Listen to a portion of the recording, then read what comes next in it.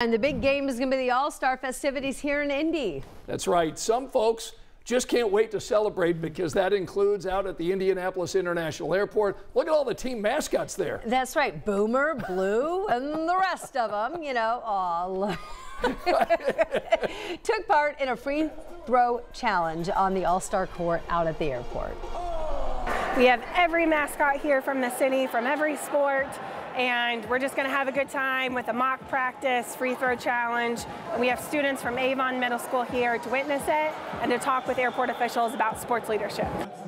Aw, look how much fun the kids are having out there. That's what you want in that court where everyone was like, they want to take a shot. Right, you know? right, right. Yeah, just kind of walk It's been around such a it. great photo op for our city when you first come into that airport. It's Yes, wonderful. Yes, and it just calls for interaction. So I'm glad to see that it's mm-hmm. getting that. Ooh.